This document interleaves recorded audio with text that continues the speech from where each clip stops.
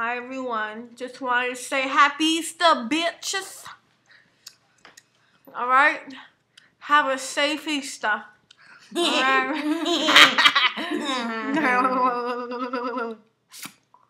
is going on YouTube.